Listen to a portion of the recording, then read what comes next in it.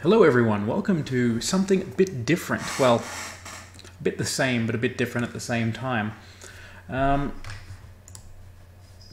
so, uh, at the moment, I'm helping a friend of mine and no stranger to the channel, uh, Reaper, help, uh, trying to help him learn how to code. And I sent him a book that I indirectly learned of, learned off, Christ.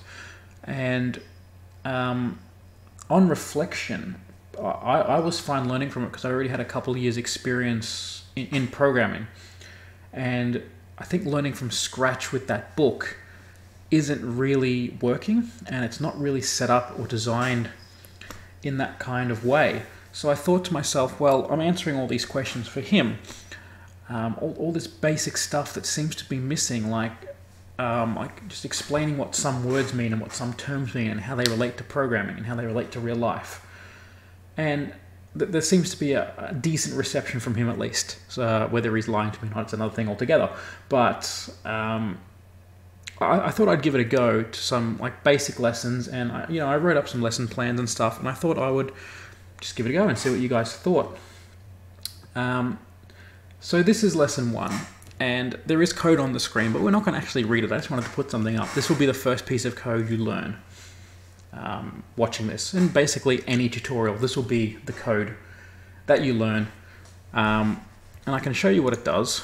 I should have checked if it built actually.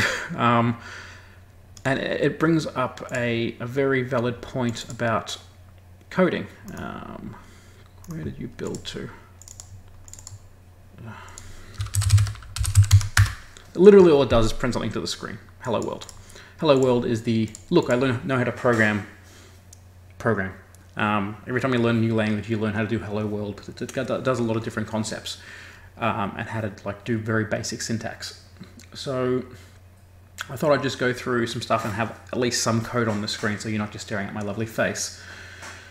So the, the first question that needs answering when you think about coding or programming is what are you actually programming? What is programming? What are you actually doing? And what is the purpose of it? Uh, what problems you can solve with programming and what you can't, more importantly, what you can, and how computers work at a very high level overview. So let's start with the simple one. What is programming? Programming is a series of instructions that you feed into a computer. That might seem pretty simple, and to be honest, it, it is pretty simple.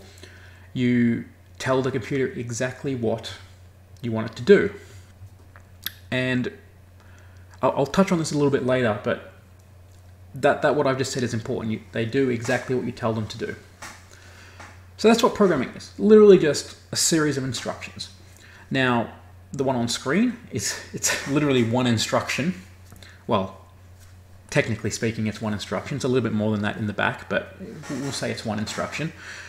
But you know, uh, my game engine is you know thousands and thousands of instructions and you know bigger programs like windows that's you know millions and millions of lines of code. They're all instructions. Um, so obviously based on the complexity of what you're doing is it the complexity of your program? It's the amount of instructions you need. Generally speaking any basic thing you can do in real life can be done in one instruction.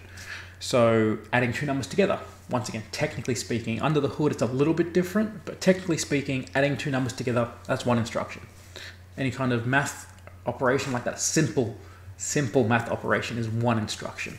You know, you got other math operations like um, matrix multiplications and stuff, which are hundreds of instructions, which I have written functions and instructions for that, and they fucking suck. But that's neither here nor there, and that's not the purpose of this lesson, so let's not go into that. So, what is the purpose of programs? You, you could think of it as a way of automating a task or uh, executing some kind of calculation. Now, when, when you think of it in that kind of broad term, you say, well, what's a game then? Well, a game is automating a task. It is automating taking what you're telling the computer to do via the keyboard and mouse and applying that to some characters and redrawing them. It's a very, very simple overview, but that's pretty much what it does. Um, and it's also doing a lot of calculations in the background, how you draw things, how you animate things, and all that kind of stuff. But once again, that's a very basic overview. Obviously, there's a lot that fits into those two categories. but that is the, most simplest way you can describe what a program actually is used for. Now, in the case of the one on the screen right now, literally all it does is display some text on the screen. It's not the most useful program, but hey, it serves its purpose. It automates displaying text on the screen. You push the button and it displays Hello World on the screen. Pretty simple. You could have something like a um, pi calculator, which um, if you've seen, I think it's called Pi Prime. No, that's that's the Prime calculator. Um, Pi 95, I think it's called. It will actually just automate solving the digits of pi up to 32 million, I think. And that really chews up your CPU time because it is a very complex set of instructions done very rapidly. So th that is the kind of things that a computer program can do. Basically, in this day and age, you're pretty much only limited by your imagination. If you can think, hey, I want my computer to do this, chances are it can do it, short of proper human thinking. Um, computers aren't very good at being autonomous. Autonomous? I can't say that word. I hope I'm saying it right. But pretty much everything else they can do. You know, you do hear AI being bound around a lot, but it's never going to be as um, intelligent as humans. And that's another thing I'll, I'll sort of throw back to because computers do exactly as you tell them to, and humans don't always do that if you've ever had kids, you, you probably know this very well. So, identifying problems and how to solve it is, is the main crux of what someone like me, a software engineer, will actually do. Now, at my last job, I created, or I helped create a communication system, uh, phones, radios, cameras, all that kind of stuff. Audio mostly, but you know, some video and some security stuff and all that kind of stuff. Um, pretty complex for the most part, but what, what I did a lot was here is a new feature. I want this one thing to happen. Well, okay, there's your problem. I need to have this thing in there. So then you go, okay, well, I need this really complex task to happen. Let's break it down into smaller tasks and small tasks and smaller tasks. And then you go, okay, how do I solve each of the smaller ones? How do they relate to each other? And you go back up the chain. That, that's my way of programming. Um, it doesn't always work that way. Some people do top down, some people do bottom up, some people just sort of do what they do. There's no one way to do it. There is no single way of doing any one problem. Give or take something simple like putting some text on the screen, although I can think of about six different ways you can do that just here. But uh, the, it, it's the, the ends justifies the means kind of coding. As long as it works in the end and it's efficient and does what you need it to do, you've done a good job. Um, I've had many times at work when I would do a solution to a problem and it's better or worse than someone else's solution to a problem, or it's objectively the same, but the way we've come to that conclusion is different. So that you will never see someone say you didn't do it exactly the way I would do it, therefore it's wrong, unless they're an asshole, in which case you should ignore them. So that that's the um, the basic gist of it. A, a, lot of time when I'm coding as well, I'll, I'll um, and this is a term I had to look up because I found it and I forgot it. It's a term called yak shaving, um, where when you go to do one task, you have to go do another task, to do another task, to do another task, to do another task, and you go down this rabbit hole of tasks. I just wanted to do one thing, but it's so broad. I have to do a million other things under it. Very common, and very something that you have to get used to if you want to be any kind of programmer or software engineer. But th that is something you'll see when we come into more complex problems, uh, especially something like the game engine. I'll, I'll, I will be going into that a little bit um, at, a, at, a, later time when we go a few more lessons deep and sort of show you the inner workings of that um, and how it all comes together. So the last point I wanted to bring up is the fact that computers aren't smart that might be hard for someone who has used a smartphone, hence the name, to wrap your head around. Um, but computers are not smart. Computers are very, very dumb things. The smarts that go into it are made by people like me, humans. Not saying I'm smart. That's not.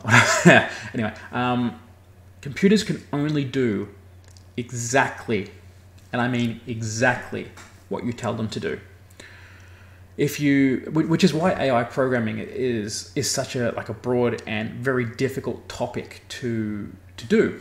Um, if you are doing AI programming, you have to program in variance and random thinking and and working out.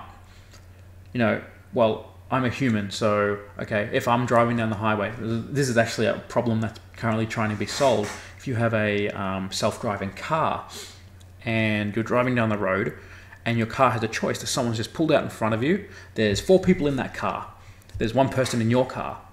If you hit this person, those four people are going to die. But you could go off the road into a pole and you will die and those four people will be saved. What do you do?